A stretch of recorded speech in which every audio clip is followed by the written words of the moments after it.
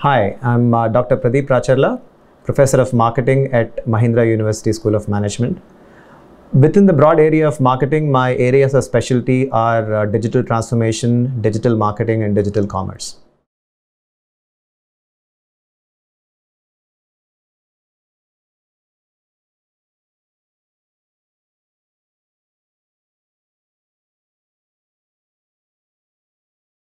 Now, let me impress upon you the fact that this is still a draft set and it is still not a law.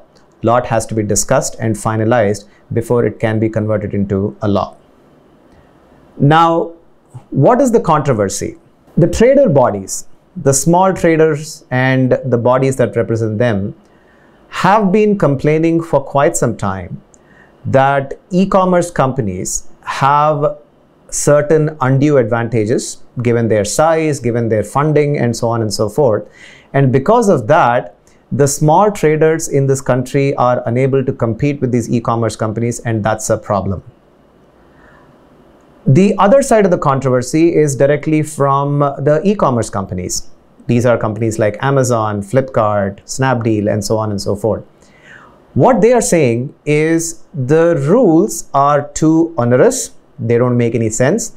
And more importantly, they will have an impact on how these companies do business to a point where these companies say that they may have to fundamentally change their business models. In the long run, what they claim is that it will also have an impact on the growth of the e-commerce industry, including investments from abroad, and that is not good for the economy as a whole. That I would say is the biggest controversy. There are both good and bad. I see two very strong good things in the proposed set of rules and many which are either ambiguous or do not really make too much sense. Let me start with the good ones. For example, one of the rules in the draft set suggests that e-commerce companies have to be very transparent about their activities. For example, let's say a product is listed on a, a e-commerce website then the company has to make sure that every single detail about the product, including the point of origin, the pricing, the return policies, and you know all this associated set of rules, have to be clearly mentioned in the uh, website so that the consumer has all the good information before the consumer takes a decision whether to buy the product or not. I think that's a fantastic thing because all said and done, there are still a lot of unscrupulous players in the online domain which tend to fool the customers with ambiguous information. The second, I think is good, is the government is now proposing that every e-commerce company should have a full-time grievance officer. The job of the grievance officer is to make sure that the company has all the associated processes to deal with consumer complaints and they've also set a very specific time frame if i'm not uh, mistaken somewhere in the 48 hour window. From the point a consumer complains the department of grievances has to make sure that the complaint is acted upon. I think these are really good things in the proposed law. The bad slash the ambiguous ones which in fact were i would say the biggest uh, uh, parts of the law as well one is relating to what is called as flash sales. Now, what are flash sales? The proposed law says that flash sale is anything that is unplanned and a product or a set of products are sold at a huge discount compared to the actual MRP. There are two problems with this. One is the definition of flash sales is not very clear in the proposed set of rules. The second is flash sales are done not only by e-commerce players, even offline uh, companies do that. Offline retail companies like your Reliance Trends or you know uh, Big Basket or Big Bazaar. Many of them do festival sales. Uh, festival sales. Many of them do heavily discounted sales because they either want to get rid of inventory or you know get the customers into their store so that they can sell more uh, uh, you know different types of products to them. So from this perspective, I think this is a very ambiguous rule that every uh, company is complaining about. The second, which falls into the gray area, is the proposed law tries to curb what are called as related party transactions. Now, what are related party transactions? Any company which is associated with the main e-commerce company, wherein there is at least a 10% stake or shares common directors, is prohibited from doing a large uh, you know, percentage of the business on the e-commerce website. Now, there are two problems here.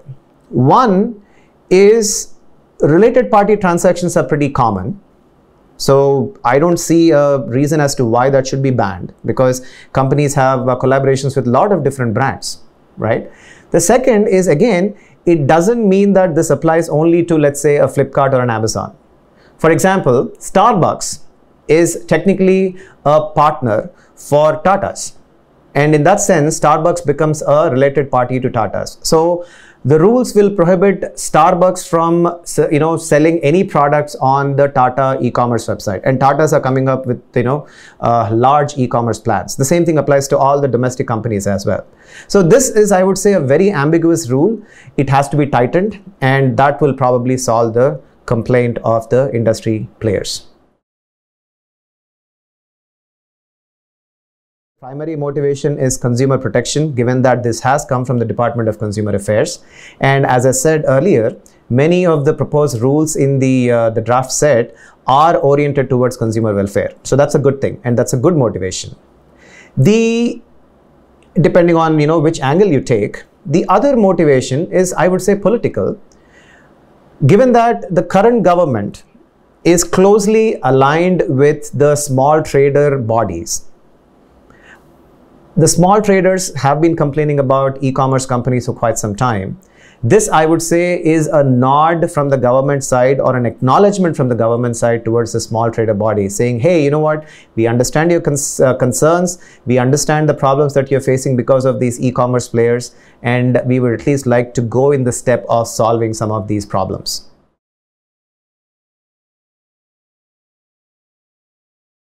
digital commerce is still 5% of the overall commerce in our country. So for every, let's say, 100 rupees of products that is uh, that are sold uh, in the country, only 5 rupees of that actually happens on digital channels. The rest 90 to 95% of those sales still happen offline in offline stores.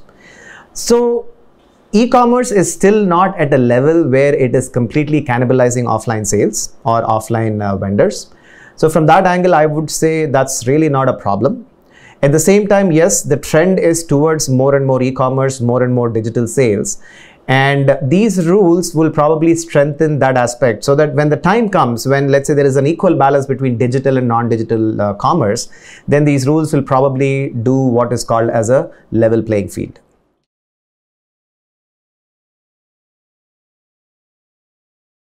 yeah, that's a that's a speculation. Uh, the interesting thing that happened once the uh, the, uh, the rules were uh, uh, let out in June is that in addition to complaints from the private players like you know e-commerce companies like Flipkart, Amazon, even the U.S. government also complained about this because they feel that this is a backdoor way to impose duties on foreign companies like Flipkart. Technically, Flipkart is now owned by an American company. Other ministries in the current government have also complained. The Ministry of Finance says that this is an overreach because it has an impact on the investment climate. It has an impact on the ease of doing business, which is a big deal for the Ministry of Finance. And in the long run, it has an impact on FDI, on taxes, on job creation, and so on and so forth. The Ministry of Corporate Law has also complained, saying that this is an overreach and some of the rules proposed in this draft set kind of impinge upon the right of the corporate law ministry to take action on these companies based on anti-competitive practices. So if you think about it, the way the rules have been proposed so far do impinge upon the areas of work of different other ministries. And they have explicitly uh, raised concerns about this law, including the Niti Aayog, by the way. At the same time, the minister who is in charge of this department is saying that there is no going back. I would say this kind of disagreement is good because what that will lead to is a healthy discussion wherein things will be thrashed out among different ministries and it will come, you know, it will eventually lead to a sane law. What will happen? I would say very soon the government will come up with a new set of rules.